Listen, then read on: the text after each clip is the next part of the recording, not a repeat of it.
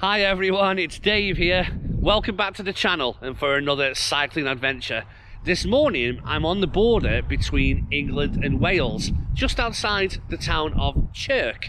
And today's plan is to head over the border into Wales towards the town of Llangollen on what will be very much a ride of two halves. I'll get on the bike and I'll tell you all about it. Come on.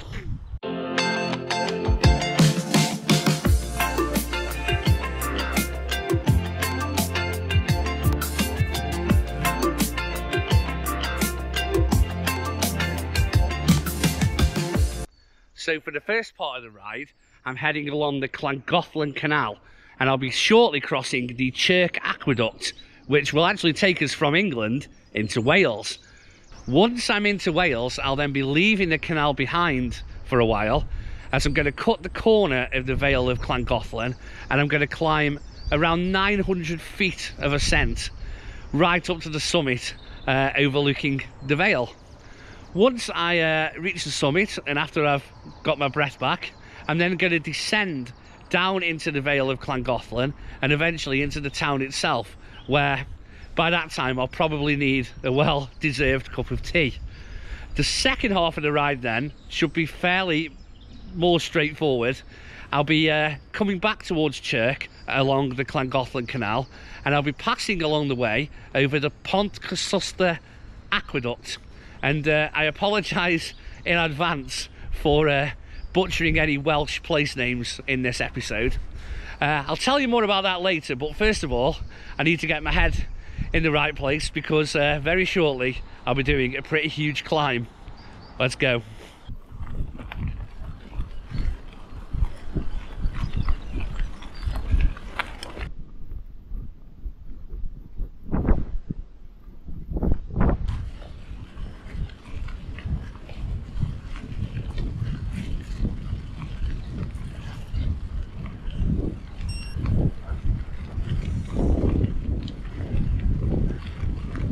This is the Chirk Aqueduct and marks the boundary between England and Wales.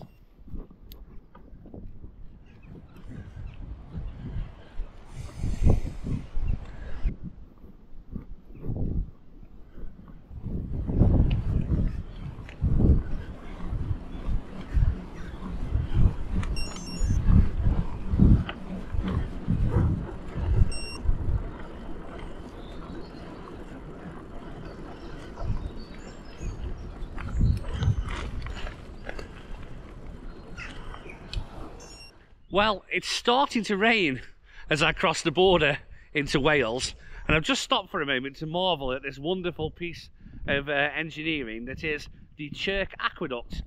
This was built by Thomas Telford and completed in 1801. Later on, they then built a parallel railway viaduct. So you have these two really impressive arched structures over the valley here. It's quite a sight and quite high too. Uh, speaking of heights, I need to uh, stop hanging around, get pedalling, and start tackling this climb out of Chirk towards Llangollen.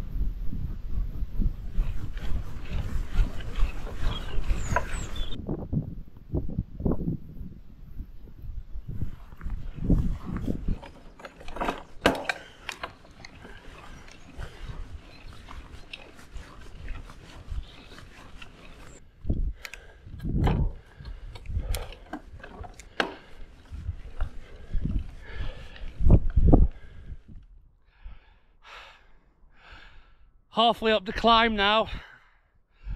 Oh, this is tough going, but uh, let's keep grinding it out and uh, hopefully I'll see you at the top.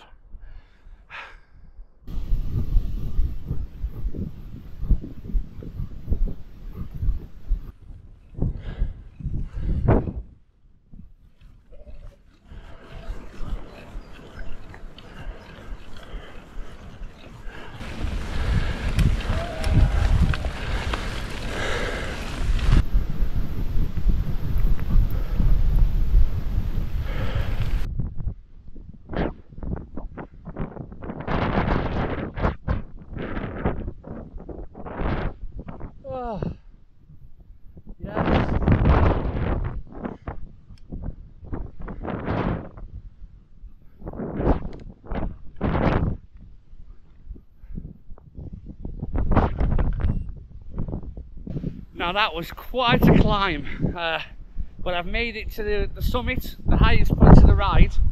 I'm now 1200 feet above sea level, overlooking the Vale of Llangollen. And uh, I'm going to enjoy this next bit because it's a nice downhill off-road section towards the town. Right, let's do this.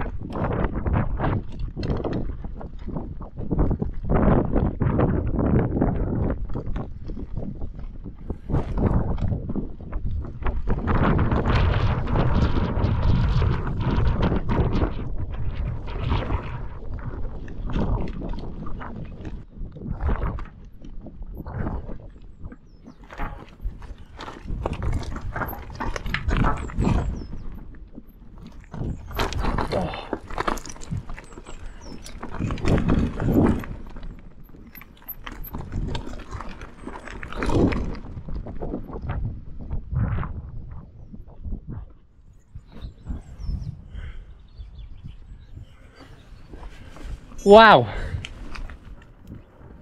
That was quite a technical descent there. But I made it down in one piece and now I'm enjoying this lovely valley which will take us into the town of Llangollen.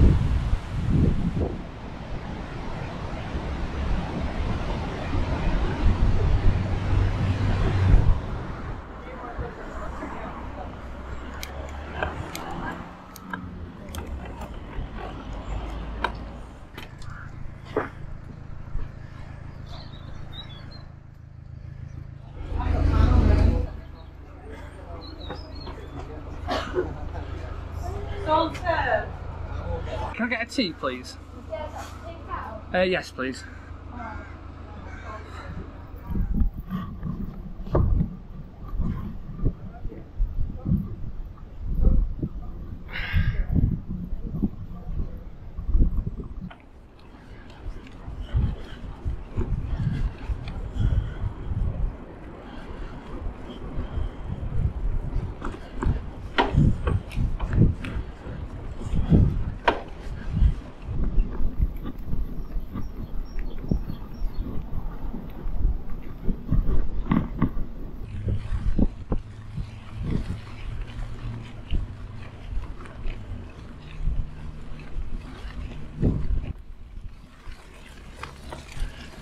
So a quick stop for a cup of tea in Llangollen and now I'm heading back east along the canal towards Trefor Basin which will lead us towards the famous aqueduct which I'm not going to pronounce at the moment.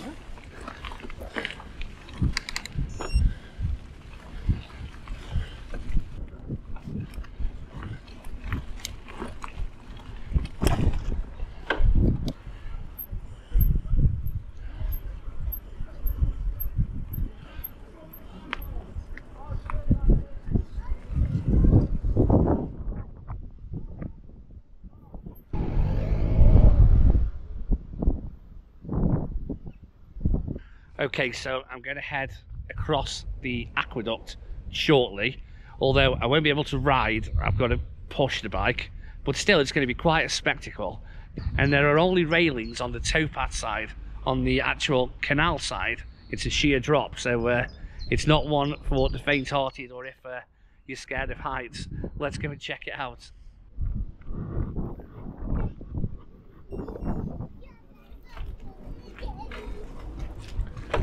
The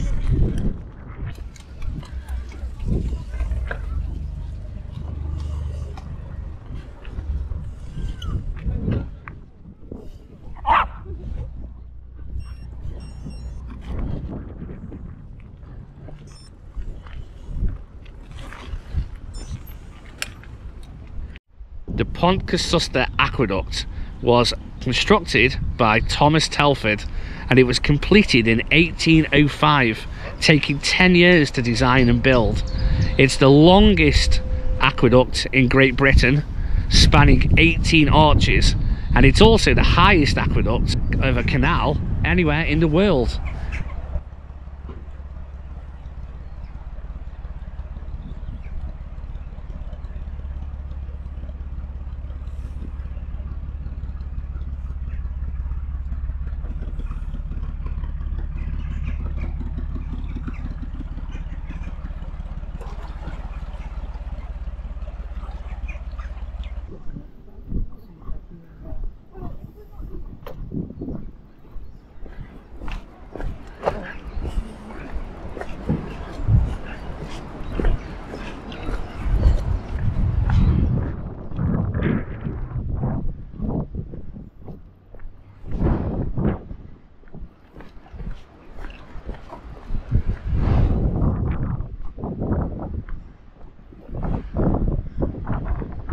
All right.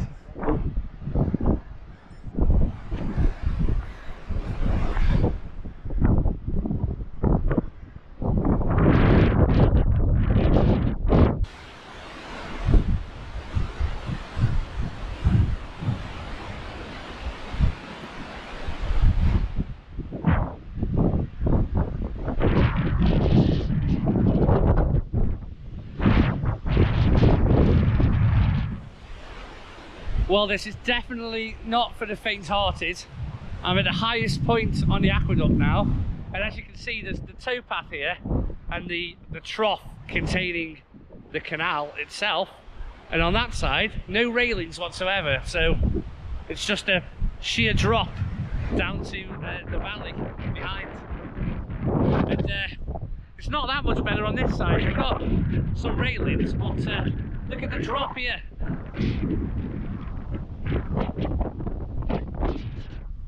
Yeah, I don't really want to look down. I think I'm going to just keep pushing my bike along to the end and get gone. This is too high for me.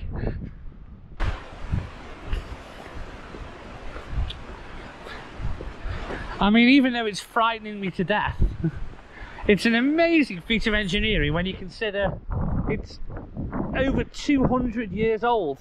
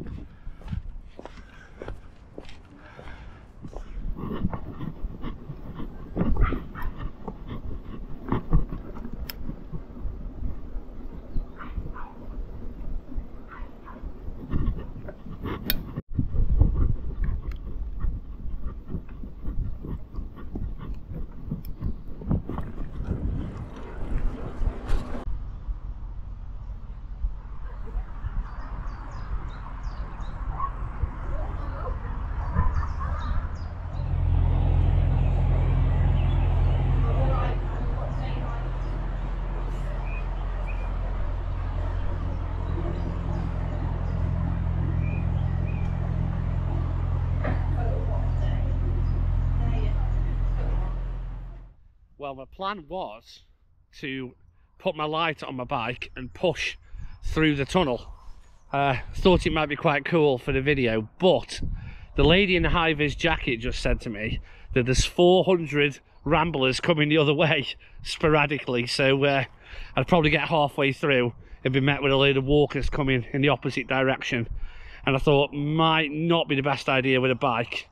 So what I've done is I have uh, come up off the canal and I'm now going to uh, go along a parallel road which will lead me back to the aqueduct at Chirk.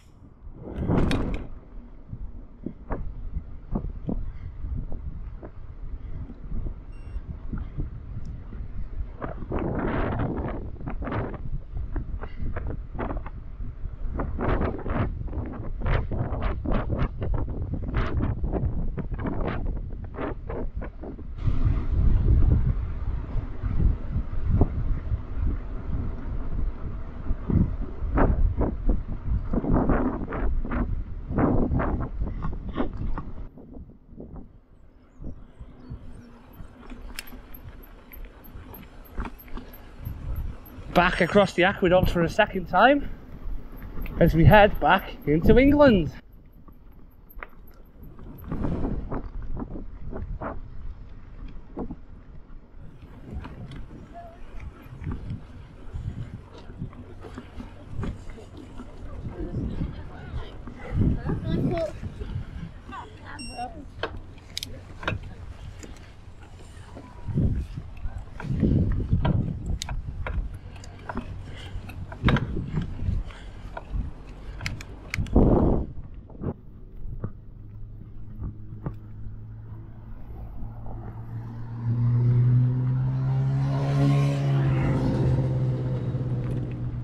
Well, I've made it back to England and uh, completed the circuit. It really was a ride of two halves that. Uh, the first bit was such a such a climb, 900 foot of elevation and uh, my legs are certainly paying for it now. Uh, it was rewarding to have that technical rocky mountain bike descent into the Vale of Llangollen and uh, I enjoyed the second half of the ride back along the canal to Trefor Basin and I'm going to try one more time. Pont Cyslysla Aqueduct. I'm so sorry Welsh people. I'm never going to say it ever again. I hope you enjoyed uh, this uh, ride and uh, this cycling adventure. If you did give the video a thumbs up and don't forget to subscribe to the channel so you don't miss out on any more cycling adventures I'm Dave, and from the border between England and Wales, goodbye.